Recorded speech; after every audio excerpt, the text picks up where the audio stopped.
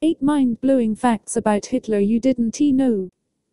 Hitler is considered to be the most evil man that ever lived. Everybody is aware of his racist ideology, the Holocaust, and the millions of people killed under his orders. But can a man be an absolute monster? DYK wants to reveal some unexpected sides of this controversial figure. Number 8 He had a crush on a Jewish girl. It sounds crazy, but he fell in love with a Jewish girl at school. Her name was Stephanie Isak, and she didn't know about his feelings. He was very shy at that time, and never told her about his love. However, he had some fantasies about her that could later develop into hate for the whole Jewish nation.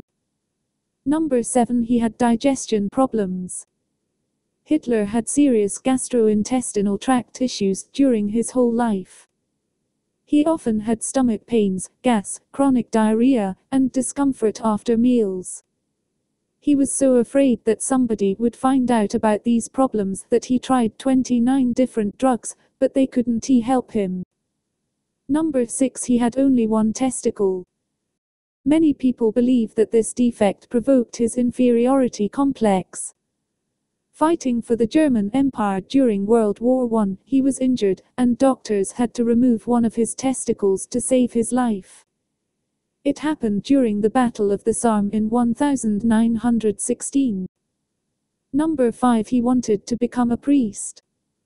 When he was four years old, he fell into a lake in the middle of the winter, and a priest saved his life. This occasion influenced his mind so greatly that he decided he would become a priest as well. However, as he grew up he realized that instead of serving God he wanted to be God himself. Number 4 He behaved quite freely with women. Hitler had no problem with grabbing women by their private parts whether they wanted it or not. And he didn't he stop there. He also had a relationship with his niece, Geli Raubal. Many people thought that there was more than friendly affection between them. At the age of 23, she committed suicide, and maybe this happened because of the disturbing sex acts she experienced with him. Number 3 He couldn't he drive. Strangely, he never tried to learn how to drive. Some people believe it was because he was afraid of failing in front of other people. However, he led his army quite successfully with a personal driver. Number 2 He was a vegetarian. The great dictator loved animals very much and was against testing on them. He mentioned his being a vegetarian in his personal diary many times, and he even thought of introducing vegetarianism as an official ideology after the war. He expressed this idea in a conversation with Goebbels. Number 1 He was against smoking. Although he smoked heavily in his youth, he became anti-smoking when he seized power.